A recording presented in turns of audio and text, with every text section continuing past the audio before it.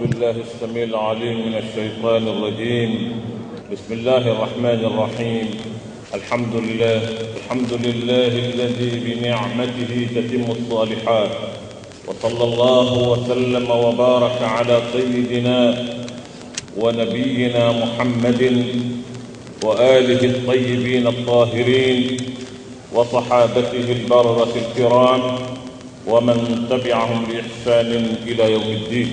assalamu alaykum wa rahmatullahi wa. Monsieur le Premier ministre, chef du gouvernement, Mesdames et Messieurs les présidents des institutions de la République, Mesdames et Messieurs les membres du gouvernement, Monsieur le chef de la délégation de l'aménagement, le représentant du secrétaire général des Nations Unies, chef de l'aménagement, de l'Union européenne, de la CDAO, le représentant de l'Union africaine, Excellences, Mesdames et Messieurs les ambassadeurs, honorables députés à l'Assemblée nationale, que le gouverneur, que le maire, excusez-moi, Mesdames et Messieurs, je ne suis pas performant dans le protocole.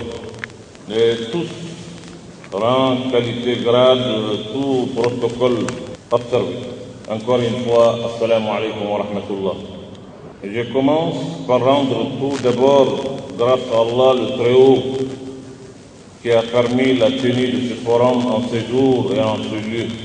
Permettez-moi, mesdames et messieurs, de rendre hommage aux plus hautes autorités de notre pays pour la confiance placée en nous pour la coordination de la mission de bons offices, mission de bons offices composée de personnalités qui jouissent dans leurs localités respectives d'une grande honorabilité, dont j'ai la lourde et redoutable charge d'être leur serviteur.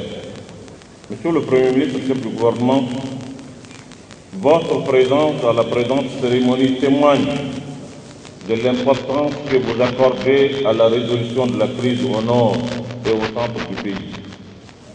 Nous avons noté avec intérêt leur place dans votre déclaration de politique générale, mais aussi votre pragmatisme dans la prise en compte de tous les aspects de la crise qui se vit dans notre pays. C'est pour cette raison que nous avons réuni tant de notabilités chefs religieux, maîtres coraniques, pour que nous puissions nous concerter et échanger afin de trouver les pistes de solutions qui nous permettent d'aller vers la résolution de cette crise. Que le Premier ministre, qui mieux que ces dignes représentants de nos populations, qui vit au plus près de cette et partage les souffrances endurées par les populations, d'autre part, ces mêmes acteurs qui sont des éducateurs, des formateurs qui ont la destinée de centaines de milliers, voire des millions de nos enfants, sont considérés comme de laissés pour compte et deviennent des cibles vulnérables. Par conséquent, l'État et nous devrons conjuguer nos efforts pour mieux orienter et avoir un droit de regard sur l'avenir et le devenir de nos enfants.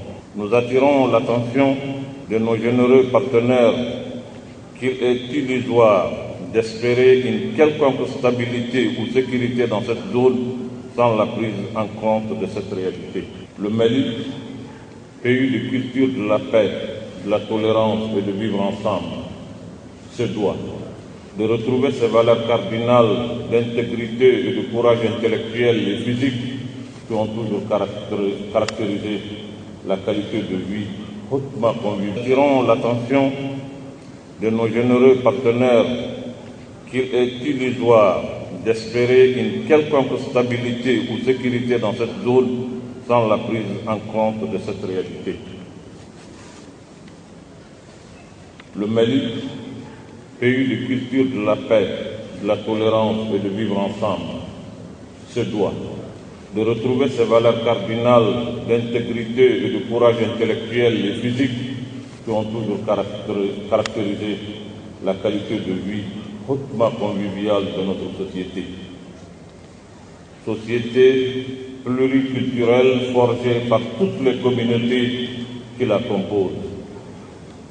Oui, Monsieur le Premier ministre, cette grande nation qui est le Mali, ce Mali qui a engendré de grands hommes qui ont fait l'histoire, ces hommes dont on a parlé tout de suite, dont on a magnifié, Ahmed Ahmed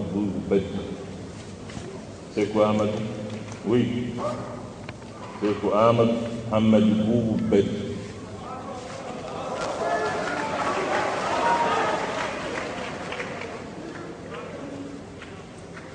C'est de lui dont il s'agit.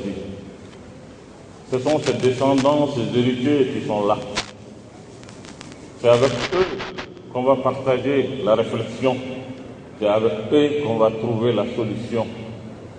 Parce que la solution ne peut se trouver qu'avec eux.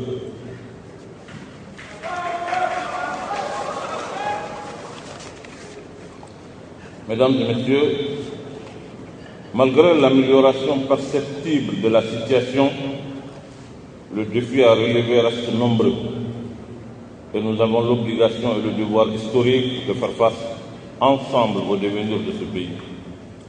Les difficultés sur le chemin de la paix sont nombreuses, mais elles ne sont pas au-dessus de nos capacités. Pas du tout. Elles ne sont pas au-dessus de nos capacités.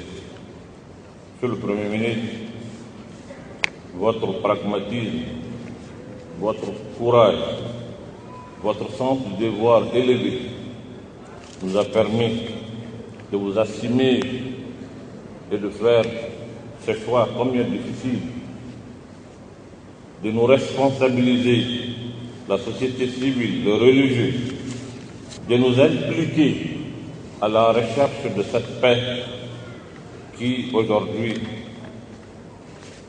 est indispensable pour l'avenir et le devenir de notre pays. Merci pour la confiance, merci pour le choix placé en nous. Merci à tout le monde. Salam alaikum wa rahmatullah.